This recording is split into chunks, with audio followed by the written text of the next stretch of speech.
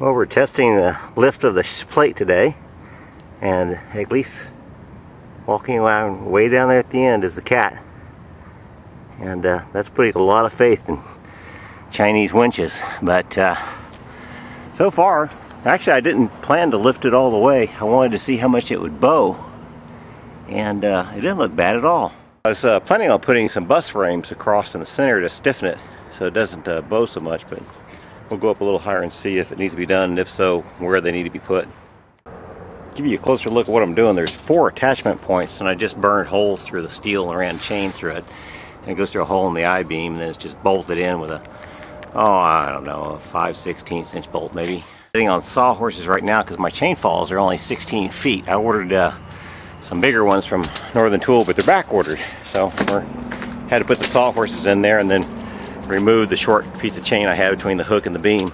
But uh, that really looks okay to me, so to heck with putting beams on, we're just gonna go on up with it and hope for the best here. By the way, this is a five ton piece of steel and those are three ton chain hoist.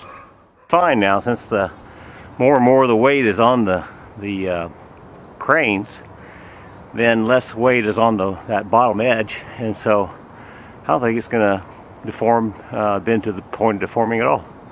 So keep going if I catch my breath.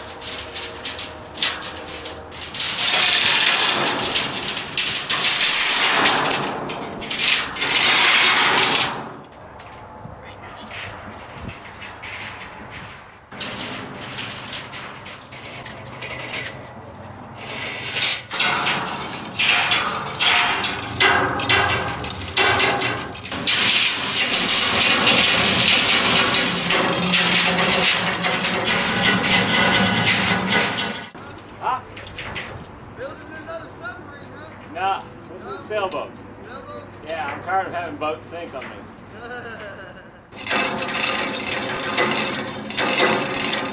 that, that only took, what? Oh, it's one o'clock now and you started like at nine.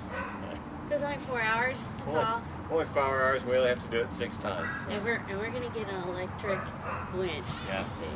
And a bottle of ibuprofen.